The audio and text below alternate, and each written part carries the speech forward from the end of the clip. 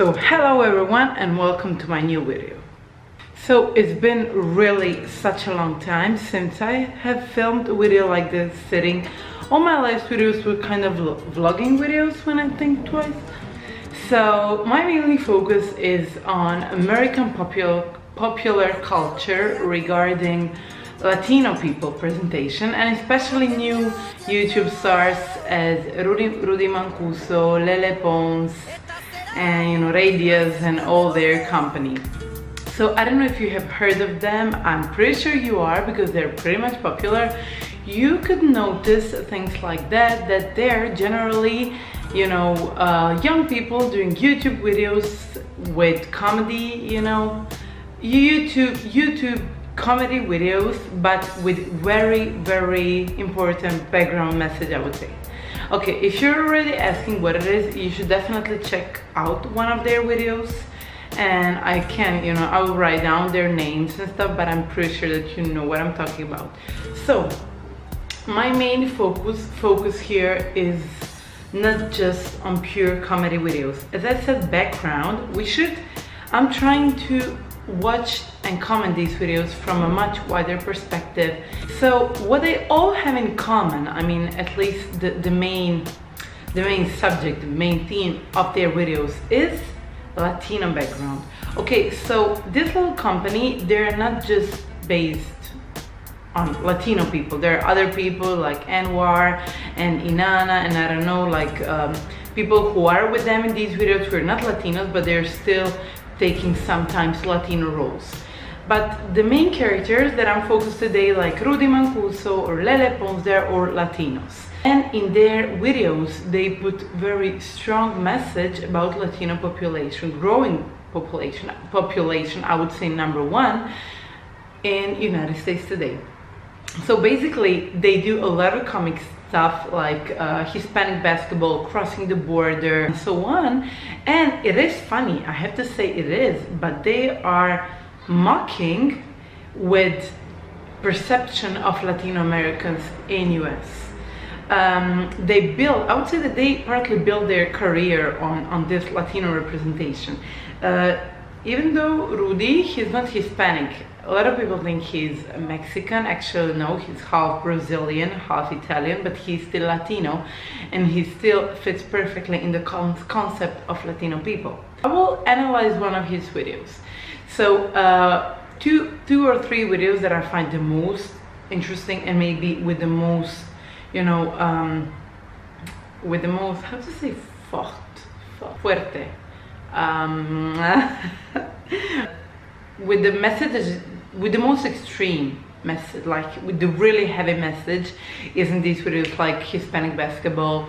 And and for example in that video actually the plot is that they're latinos and they wanna uh, play basketball with black people who are generally associated in the united states with know it all regarding basketball so black people regard them as you know you're latinos you cannot play basketball and stuff. So they're saying one you you have one minority uh, group like latinos in us and other group which is marginalized as well like black people in us and they're like fighting let's say.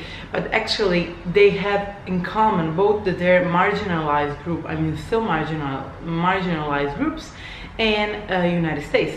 And in one second, so this black people, they say to Latino people, like, uh, shouldn't you be mowing the lawn? You're probably illegal and the stuff which are most stereotypical about Latino people. And Latinos say to black people, shouldn't you be in jail or something? It's funny, I have to say his videos are hilarious. So he does really good video. I like his videos. But he really puts emphasis on the stereotypes and on these negative connotations regarding Latino people in US. And, in racist Superman. And Firstly, there is a Latino Superman against black Superman, but then when Asian Superman comes, they're together against Asians. So the story about immigration is all the time there. And it's deeply in, you know, it's deeply rooted into Latino society in US. The message is clear. And underlying content of his videos are amazing, are deeply cultural. They're really trying to to uh, to put an emphasis on the things that are important. That is just not a pure comedy. So he's comedian, he's an actor, he's I would say an artist, but his message is strong and pretty much clear. I think that the, the, the, the videos like this are a great way the be- I would say one of the best way to raise awareness of the marginalized groups in Western society in this specific context is United States.